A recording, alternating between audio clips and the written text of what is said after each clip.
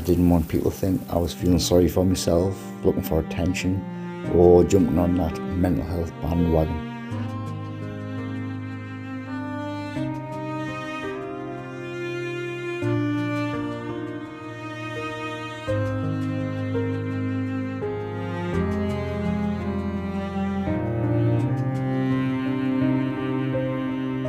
I was diagnosed with clinical depression, anxiety disorder, and also insomnia around 15 years ago now.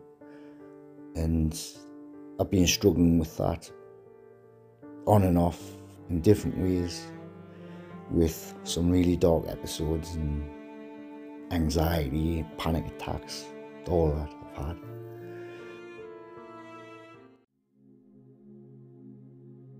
I'm on medication. I've got a support worker and I've had different talking therapies in the past, all of which have helped.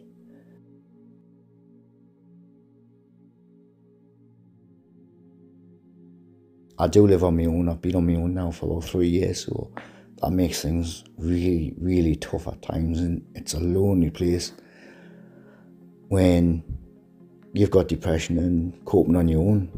I can go days, sometimes weeks without adult conversation, and it's tough, very tough. I am coping with it a lot better these days. I am, and a big part of that is aquascaping and planted aquariums and keeping the fish. Um, all that has been amazing help.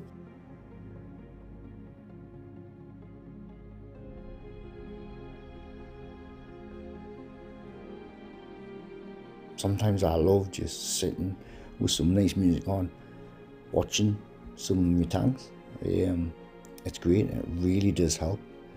And I know it's helped many others out there who've been in touch with us or other friends, aquascaping friends who have went through similar issues with mental health.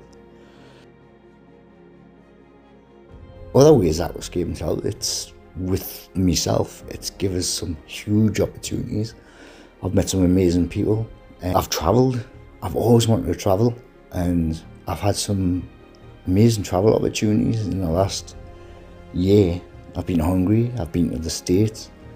I'm going to Norway very soon, so that's super exciting.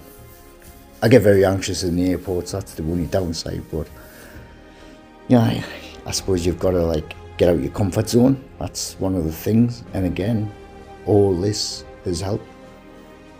I do have dark times, which I can cope with better now.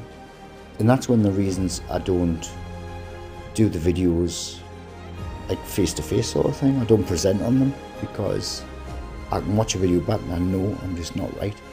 My eyes, I look sad. I just want to give a big thanks to everyone who subscribers and supporters in some way over these years. Um, it's been amazing. You guys are amazing. So thank you from the bottom of my heart. If you're suffering from any mental health issues, or you know friends or family, you're a bit concerned, you've definitely got to make sure you talk. Everyone says it all the time, but talk to somebody. Don't hold it in.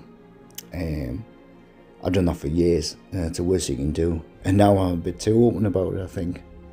But I say things I think, oops, shouldn't have been, shouldn't have spoke there, but that's the way it is. I, um, I'm quite open about me depression now, and it does help, definitely. There's some amazing help and support out there, and use it.